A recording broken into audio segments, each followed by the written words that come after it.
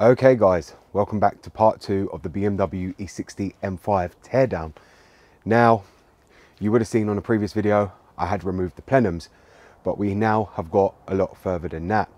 Now, obviously, I wasn't going to bore you with removing simple things that many of you guys have seen me remove hundreds and hundreds of times, which are basic on the E60. So I've moved all them parts and got ready for the parts that you guys want to see that relate purely to this car only. Now, when I say purely to this car, realistically, it does relate to this car and it's a common problem on these engines, but this will also relate for all your cars because this part can fail on many of you guys' cars and none of you are even aware. Unless you run live data on a diagnostics tool, you will not even be aware this is actually even failing because of the way they actually fail in the situation on the engine. Many guys won't even be aware because as many of you guys know, BMW on these model of cars removed the coolant temp gauge on your car so you will be none the wiser of how your car is actually running. So I'm therefore going to show you what we're going to be replacing today and the reason why I'm replacing it. So let's get on to the video. Goddamn, get it done, will ya?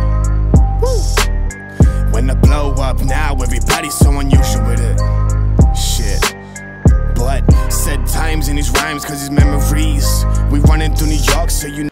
Okay guys, so you'll see here, this is the BMW E60 M5. And if you can see, I've removed all the air filters that go along the side, which is the K&N Typhoon system.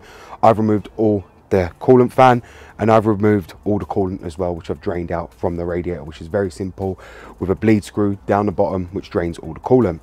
I've also released all the pipes that are down here which are for the thermostat housing. I've removed a lot of different things to gain access to all the plugs for the eccentric shafts on the um, E60 M5 also. Therefore, we are going to be targeting the thermostat housing on this car. Now, the thermostats are a very, very weak point. And when I read the live data, I found that the thermostat on this car was not opening to its full maximum efficiency, therefore undercooling the engine. Now, what was actually happening is this is actually stuck open.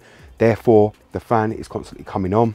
Not only is the fan all coming on, it's also um, dropping the temperature when it's at idle. So the temperature keeps dropping, dropping even lower than it should be. It's not sitting bang right in the middle of 75 Celsius, 95 Celsius. It will drop itself as the car is idling. And then obviously the car will go back into cold loop to try and re-warm up the car and re-warm up the cat. Therefore, I need to change the thermostat on this car to stop that happening. So we are going to go ahead and remove the thermostat housing and gain access to the thermostat. I do have a new one and this is a common issue. So if you do own an E60 M5, make sure you actually check this because this can be causing a lot of your issues on your E60 M5. Now you will see, as I said, I've removed all the pipes, which are right here. We're not going to put them back in just yet. We are going to be taking out the uh, thermostat housing. Now I believe these are a 30 mil bolt. These are maybe eight or 10.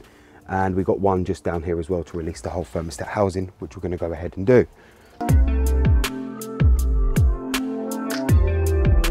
Now we're going to release the 14 mil bolt from the top of the thermostat housing.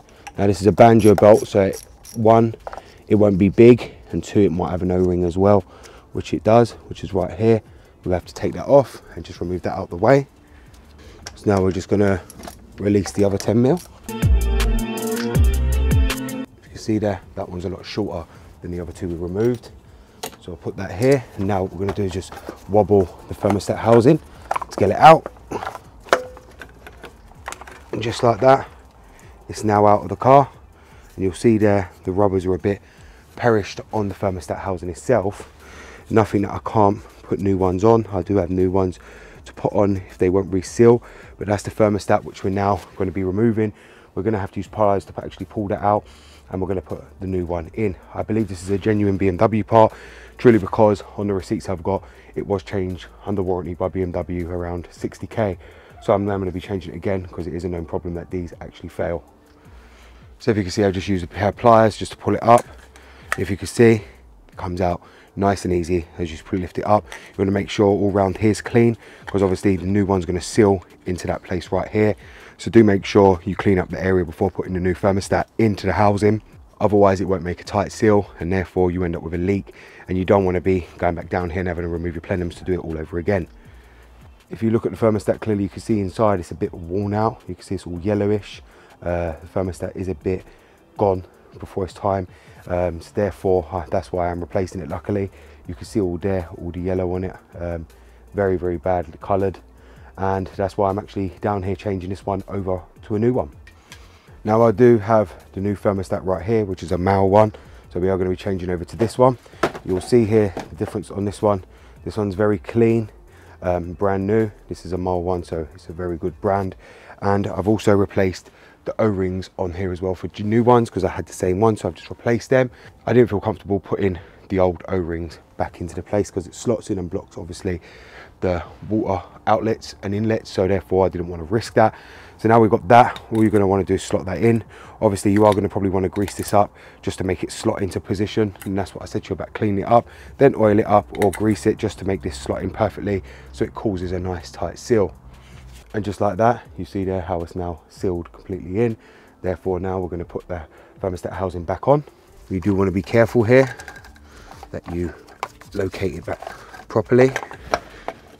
So now we've got all the 10 mils tightened down we're now going to go ahead and put the other coolant line back on with the banjo bolt and that's the thermostat housing complete on that side. So remember one of the copper washers go underneath. Then you want to put the cap and put the banjo bolt on top and start screwing it down make sure all your wires are correct the right way before you connect it all up. Now we're going to put the radiator outlets back on. Now I would stress to make sure you check everything before you even think of putting everything back on and refilling up your coolant because if you do have a leak you will be coming back down here to replace this again or the seal so do make sure you check everything properly before you bolt everything back down and finish the whole job. Okay guys so as you've seen there I've now replaced the thermostat and I've now shown you how to remove the thermostat housing on your BMW E60 M5.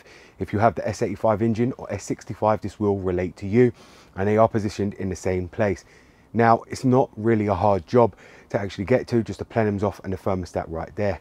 Now, I think BMW knew this was going to fail a lot because of how much power the V10 actually produces. These things are designed to actually fail. Obviously, when they fail, the most common way they usually fail is where they stuck open. Now, this thermostat has been replaced already twice in its life, and this is now the third time. Now, it is notorious for eating through thermostats, these cars, because of how hot they get and how hot they've got to be to warm up that whole car's temperature, especially when you're driving it in a hot climate, especially here when we get um, heat wave. Obviously, these cars run very hot, and obviously, the thermostats just get eaten through the more you actually drive them. Now, it is an easy job, and if you are looking for a guide to actually do this. I hope this video actually show you how to actually gain access to it. I do recommend, however, to make sure you change the O-rings on the thermostat housing. Otherwise, if that leaks, as I said, you will be back down there.